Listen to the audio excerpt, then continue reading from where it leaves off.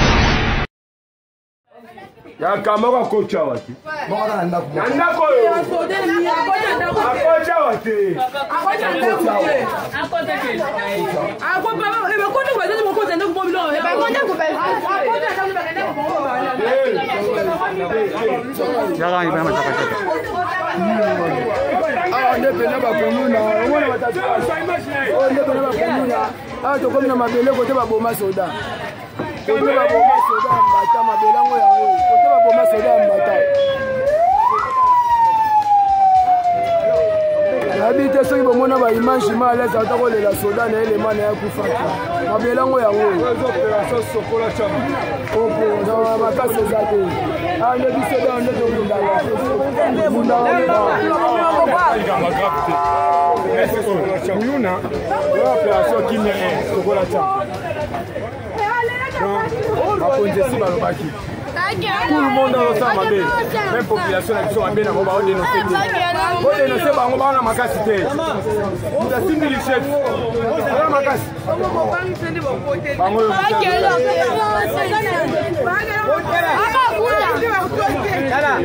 bino na biso tozala eloko moko so bolingi koto kini ezala bino na biso